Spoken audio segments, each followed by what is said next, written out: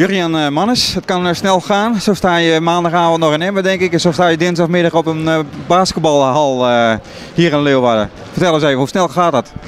Ja, het ging inderdaad heel snel. Er was al wel wat eerder contact geweest, dus het was niet onverwachts. Maar ja, na het gesprek ging het heel snel inderdaad. Jurjan Mannes, wat voor speler ben je eigenlijk?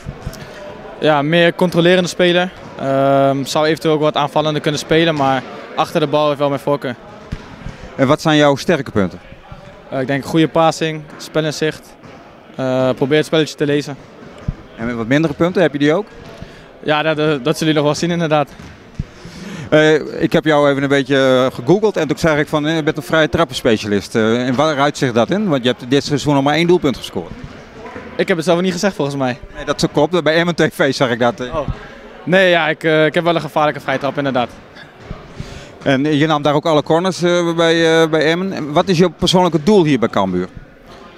Ja, ten eerste wil ik me gewoon zoveel mogelijk ontwikkelen. Uh, ik heb vandaag al gezien dat het niveau van de selectie echt hoog is. Dus uh, wat, voor mij betreft, wat mij betreft is dat natuurlijk al heel gunstig. daarnaast wil je altijd gewoon voetballen, minuten maken en doorontwikkelen.